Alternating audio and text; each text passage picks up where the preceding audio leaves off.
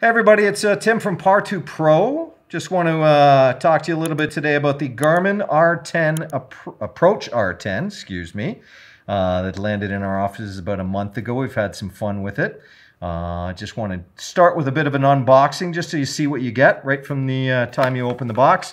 Uh, and all fairness, we've already opened it up, so it's not going to come exactly as you'll see it right out of the box, but I wanted to recreate it pretty close to what you would see when you first get it. Comes in a beautiful case, hardcover case for protection, so if you're taking it out to the golf course or the range, uh, it'll give you decent protection.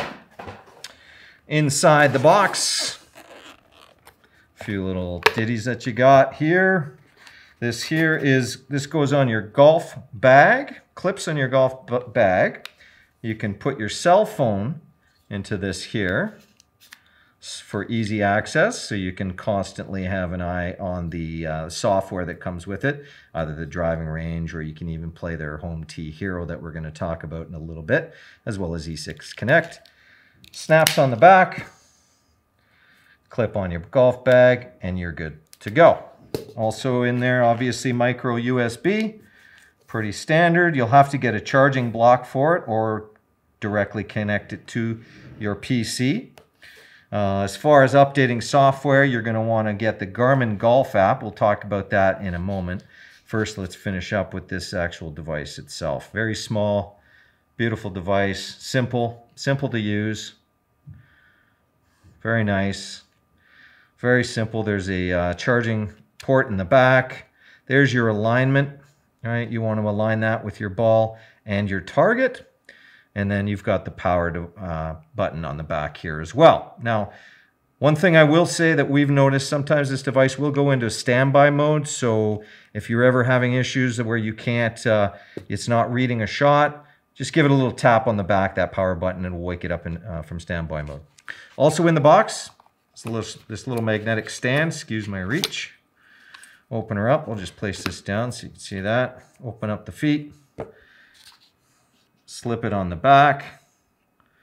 It's a magnetic magnet, clips on, and you're good to go. Now, as far as connecting to your devices, the Garmin i10 is quite simple, quite quick.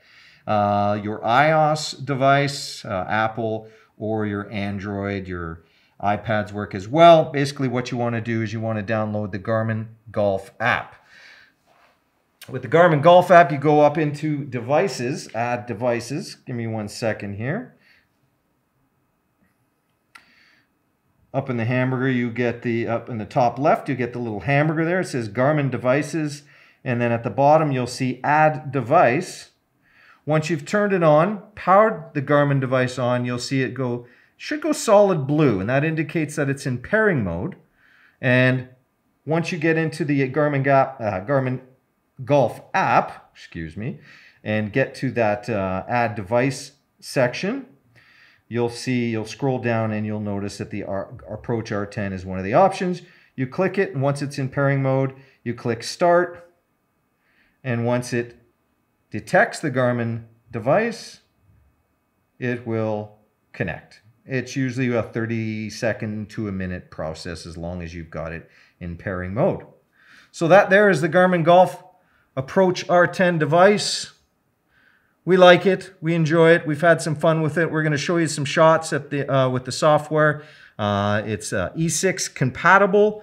Uh, also comes with a 30-day subscription to something called Home Tee Hero, which we're going to highlight a little bit later. And that gives you access to 40,000 golf courses around the world.